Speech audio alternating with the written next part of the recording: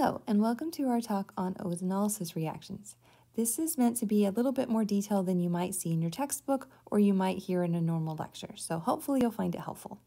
At this point, I want to point out that I have put out a one-page um, supplemental about ozonolysis because sometimes the mechanism is kind of hard to find.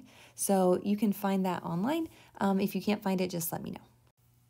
So we'll start off just summarizing ozonolysis reactions and what they are.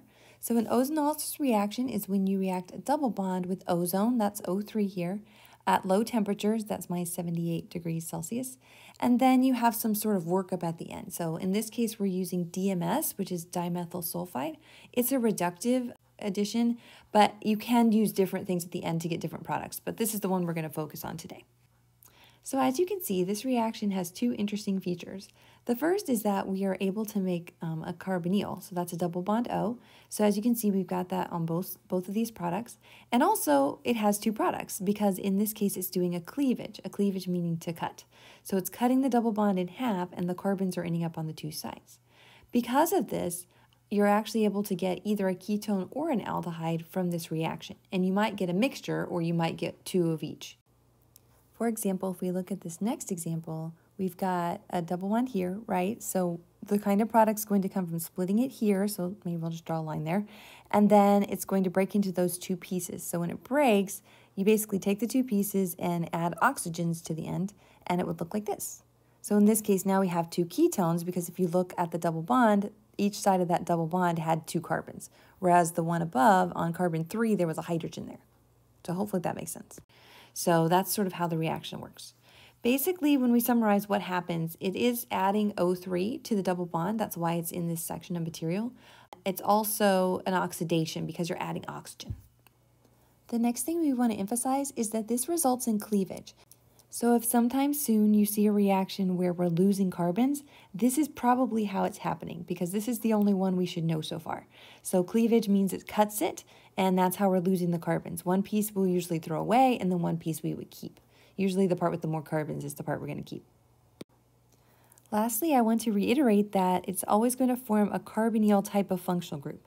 So in this case, we have the ketone or aldehyde that we can form. It can also form some other carbonyl compounds like carboxylic acids, um, but we're not really to that section yet. That's You use a different thing at the end instead of the DMS to get that kind of product. Of course, because we're in a section where we're talking about double bond chemistry, we're going to check and see if there's any special regiochemistry or stereochemistry. So the regiochemistry for this is just wherever the double bond is. So wherever the double bond is, that's where you're going to split it, and that's where you're going to get your products from. There's no rearrangement, there's no carbocations, there's nothing like that. Okay? And stereochemistry, as you can see in the product, there's not any stereochemistry because they're both flat. They're both sp2 carbons, which are trigonal planar, which is a flat plane. So they can't have a chiral center, so they're not really considered stereochemical at all. So we don't worry about that. When you actually do the addition in the mechanism, you'll see that the ozone is going to add to the same side because it adds at the same time. So it's technically a syn addition at that part, but the final product doesn't have any special stereochemistry. So now that hopefully everyone's caught up on the basics of ozonolysis, let's talk about the mechanism because it's a pretty cool one. So I'll point out that this is another split mechanism where you don't have to know the whole thing. Um, you do want to know up to the secondary ozonide, that's this thing right here. Um, that's how far you want to go. The mechanism of how the sulfur um, reacts to make the double bond O is a reduction, and it's kind of, it's just weird and not really what we're focused on right now, so I don't want to get too distracted by it. So you don't have to show the mechanism of this. If it was you know, on a test or something, I would just show the first two things and not show the part with the sulfur at all. So you'd see the final product was this weird ring thing, okay? So don't worry about the second part of that. All right, so the first thing that's happening in the ozonolysis is we need to be able to draw the structure of ozone, right? Because that's how we're going to be able to use it, and it actually has stuff happening in the structure. So the structure of ozone looks like this. So it's got a double bond, and it also has two charges. So it's got a negative and a positive charge based on how the electrons are, okay? So as we know in this section that double bonds are actually weak nucleophiles. So that's going to act as our nucleophile and it's going to attack. So if I have a choice of sides of the ozone to attack, which one am I going to attack? Right, I'm going to probably not attack the negative side. That would probably be not a good choice. So I'm going to choose to attack the oxygen on the other side. So when you do that, it's going to have to push the double bond up so you don't get too many electrons on oxygen. So that's going to go to the positive charge. And then at the same time, this is going to attack back. So kind of like when we talked about how bromonium ions are formed and they attack back and mercury does that, except for in this case, it's a different oxygen that's actually attacking. It's not going to make a three-membered ring, it's going to make a five-membered ring. So this oxygen here with the negative charge is actually going to attack. And five-membered rings are very stable, so that's a normal thing that could happen. Okay? So then when we draw the products, it's going to look like this. So notice in the product, we don't we're not going to have any more charges. Everything's going to be connected, but there's no more charges, right? Because we filled in the positive and the negative got taken away when it went up to make the um, attack at carbon 2. Okay? So no charges. All right, so now what we have to do is figure out how we're going to get from this thing, which is called the primary ozonide, meaning the first ozonide, thing that ozone added to, um, to the secondary ozonide that's shown up at the top. So obviously we're going to have to rearrange some stuff, right? We need the oxygens to not be together. Um, we need to split it. So it actually breaks apart and then goes back together, which seems weird, but that's what it does. So we're going to take either side of the oxygen lone pairs on the side, not the middle one, and have that come down. So I'll take this lone pair and draw an arrow here to make a double bond, okay? And then I'm going to, this is the big cleavage part, where I break the carbon-carbon bond between 2 and 3, right? That's the goal. I'm trying to get to cleavage. So between 2 and 3, I need to break that bond and have it go up to one of the sides with the oxygen, okay? And then when that happens, it's also going to have too many electrons on oxygen if I don't break that bond, so it's going to go from this bond to this oxygen to make a negative charge. Okay, so let's draw what that product's going to look like.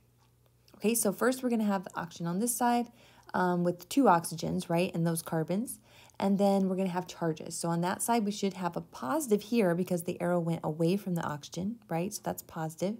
And then a negative on the end because the arrow went to that part, right? And then on the other side, we're going to have the product that looks like this. And then that doesn't have any charges because arrows went to it, but arrows also went away from it. So electrons didn't change the charge, okay? Now, if we look at the top, the two oxygens are obviously coming from this piece, but the other one's sort of flipped. So what I like to do is just draw it flipped. You could just draw one. You don't have to draw both of these. So maybe I'll erase this one and just draw the flipped version if that's okay. And then that's how we're going to draw it. And then now we need to put it back together. So what are the bonds we need to make to make that go back together? We need to have the double oxygen part, this part up here, attack the carbon of this ketone now. So that let's do that first. So that negative charge goes to that ketone carbonyl. And then the double bond of the oxygen goes up, but it actually goes over to attack the other one. So that way they can be attached. So it sort of swings around the oxygen to attach to the carbon on this side. And then it's going to push the electrons from the double bond back up.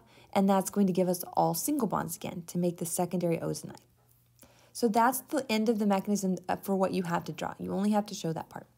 Um, the cool thing about this mechanism that helps me is if I just sort of remember the patterns. So if you look at the first step, it's got three arrows, right? It's got two charges and three arrows. So that's the important thing. The most important thing is double bond attacks the side that's not negative and the negative attacks the double bond on the other carbon. So that's kind of key. And then the middle one just has to move to make all single bonds. Then we're making the five-membered ring, so that's the next step.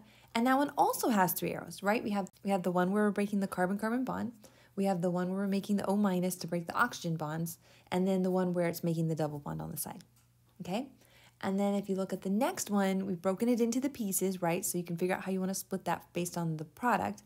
And then you can have three arrows again. So start with the negative charge, go to the carbonyl so you can connect it, and then have that double bond come over to get the other carbonyl carbon, and then push that one up to fill in the positive charge. So if you're not totally sure, you can practice it obviously, but it helps to check that you have three arrows on each step and that you're going charges, ring, charges, ring. Right, there's no charges on the rings, and then anything that has two molecules coming together has charges on one side. So hopefully walking through the mechanism with some help um, was helpful, but if you have any questions, let me know. And with that, we're at the end of our video. I hope you found it helpful, and make sure you check out any Blackboard activities that are on this section, all right? So have fun, and I'll see you next time.